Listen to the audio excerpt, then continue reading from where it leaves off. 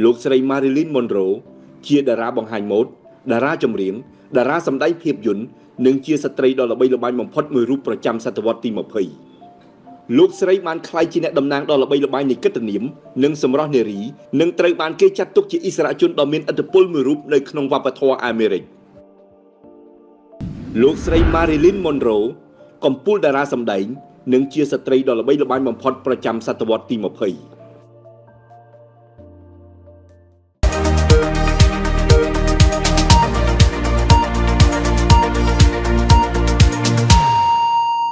លោកស្រីត្រូវបានគេដឹងថាមានទំនាក់ទំនងស្នេហាជាមួយនឹងបុគ្គលល្បីៗជាច្រើន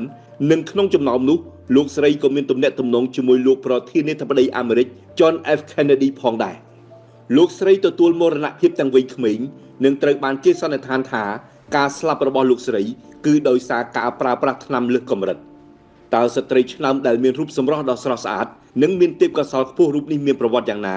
សូមអញ្ជើញទស្សនាវីដេអូនេះដូចតទៅ លោកស្រី Marilyn Monroe កើតនៅថ្ងៃទី1ខែមិថុនាឆ្នាំ1926ក្នុងទីក្រុង Los Angeles រដ្ឋ California កាលនៅតូច នាងត្រូវបានម្ដាយបោះបង់ចោលនិងបានធំធាត់ឡើងនៅក្នុងមណ្ឌលថែទាំកុមារនិងមណ្ឌលកុមារកំព្រានៅក្នុងឆ្នាំ1937មានប្តីប្រពន្ធ2នាក់បានស្មុំនាង Marilyn Monroe មកចិញ្ចឹមអស់រយៈពេល2ទៅ3ឆ្នាំដោយអ្នកទាំងពីរទទួលបានប្រាក់ចំនួន25ដុល្លារ ដែលស្មើនឹងជាង500ដុល្លារក្នុងពេលបច្ចុប្បន្នជារៀងរាល់សប្តាហ៍ពីម្ដាយរបស់នាង Marilyn Monroe ដើម្បីឲ្យពួកគេជួយចិញ្ចឹមនាងប្តីប្រពន្ធដែលមានឈ្មោះថា Grace និង Doc Goddard ជាអ្នកប្រតិបត្តិសាសនាដ៏ជ្រាលជ្រៅនាង Marilyn Monroe មិនត្រូវបានអនុញ្ញាតឲ្យចេញក្រៅឬទៅមើលកុននោះទេប៉ុន្តែនៅពេលការងាររបស់លោក Doc Goddard ត្រូវបានផ្ទេរទៅកាន់តំបន់ East Coast គ្រួសារនេះមិនមានលទ្ធភាពនាំយកនាង Marilyn Monroe ទៅជាមួយនោះទេ នៅវ័យ7ឆ្នាំ នាងបានវិលត្រឡប់ទៅរកជីវិតនៅមណ្ឌលកុមារកំព្រាវិញនៅទីនោះនាងរងការរំលោភបំពានជាច្រើន នាងបាននិយាយថានាងត្រូវបានរំលោភបំពាននៅពេលនាងមានអាយុ11ឆ្នាំនៅវ័យ15ឆ្នាំ នាងបានបោះបង់ចោលការសិក្សា នៅវ័យ16ឆ្នាំ នាងបានរៀបការជាមួយនឹងមិត្តប្រុសដែលជាពាណិជ្ជករឈ្មោះ Jimmy Dougherty នៅក្នុងឆ្នាំ1942លោកស្រីមិនដែលស្គាល់មុខឪពុករបស់ខ្លួនឡើយលោកស្រីមានបងស្រីឪពុកទីតិញម្នាក់ ប៉ុន្តែអ្នកទាំងពីរមិនជិតស្និទ្ធនឹងគ្នាឡើយដោយសារពួកគេបានជួបគ្នាតែប៉ុន្មានដងប៉ុណ្ណោះយុវតីមានរូបសម្រស់ស្រស់សោភារូបនេះមានក្តីស្រមៃคล้ายជាតារាសម្ដែងនៅពេលស្វាមីរបស់លោកស្រីត្រូវបានគេបញ្ជូនទៅកាន់តំបន់ South Pacific លោកស្រីចាប់ផ្ដើមធ្វើការនៅក្នុងរោងចក្ររុំសេវមួយស្ថិតក្នុងទីក្រុង Van Nuys រដ្ឋ California នៅទីនោះហើយដែលលោកស្រីត្រូវបានចាប់អារម្មណ៍ដោយអ្នកថតរូបម្នាក់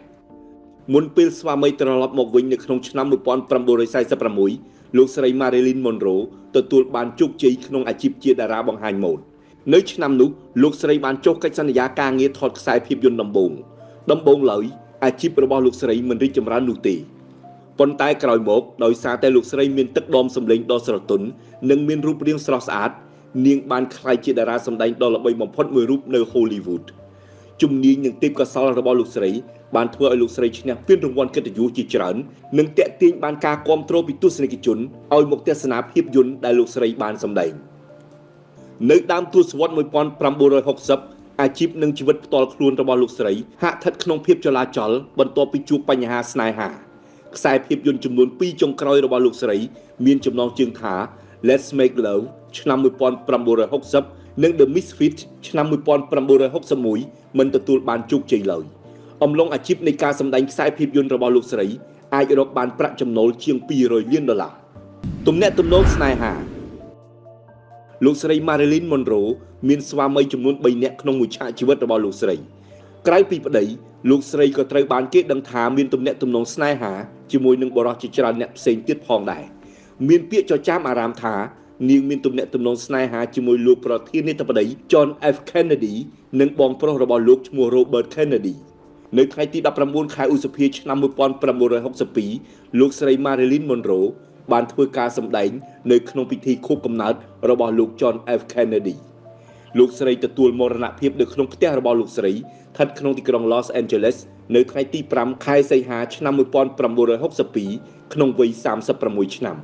ដបថ្នាំជំនួយដំណេកមួយកំប៉ុងត្រូវបានគេរកឃើញនៅក្បែរគ្រែរបស់លោកស្រី ការសន្និដ្ឋានខ្លះបានលើកឡើងថាលោកស្រីអាចនឹងត្រូវគេធ្វើឃាតប៉ុន្តែមរណភាពរបស់លោកស្រីត្រូវបានគេប្រកាសជាផ្លូវការថា